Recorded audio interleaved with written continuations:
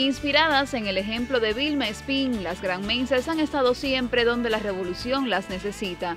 Como parte de las actividades para celebrar el aniversario 64 de constituida la Federación de Mujeres Cubanas, en la provincia de Granma fueron reconocidas un grupo de féminas con una destacada permanencia en sus filas. De manos de dirigentes del partido, el gobierno y las organizaciones de masas del territorio, las federadas recibieron reconocimientos por su quehacer. Somos las mujeres ejemplos de ternura, pasión, incondicionalidad, pero también de tesón, constancia y valor ante cualquier situación.